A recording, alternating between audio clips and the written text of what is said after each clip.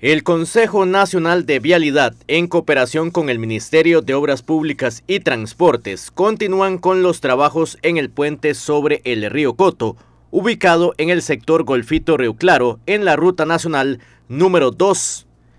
Las cuadrillas trabajan en la reparación de la socavación de uno de los bastiones.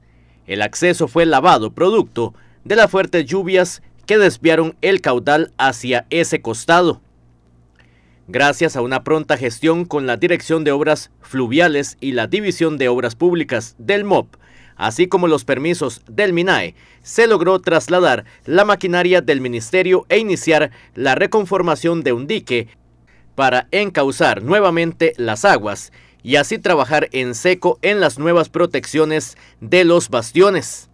Los trabajos del Ministerio de Obras Públicas y Transportes y CONAVI se realizan en horario diurno para que los conductores lo tomen en cuenta y con paso regulado.